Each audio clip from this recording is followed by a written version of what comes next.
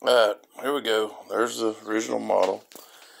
And uh, I've had a few people comment on how good this looks without me adding more to it. So less is more, and that's what I'm gonna do. I'm not gonna even try to add any more color to it. Um, it's kind of hard to turn one-handed.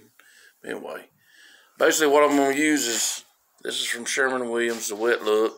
I'm gonna use that water bottle. We ain't got much left, but that's okay. I it's plenty. Uh, what I like to do is kind of give a little wet spray. Water's life of everything, right?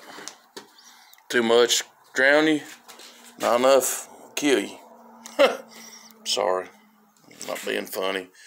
But anyway, I'm just gonna, whoops, go over it like it. I'm gonna put a thin coat on there.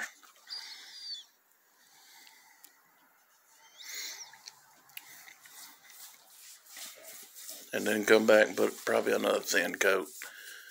And then uh, I'll show y'all maybe tomorrow what it looks like. All right. Thanks for looking.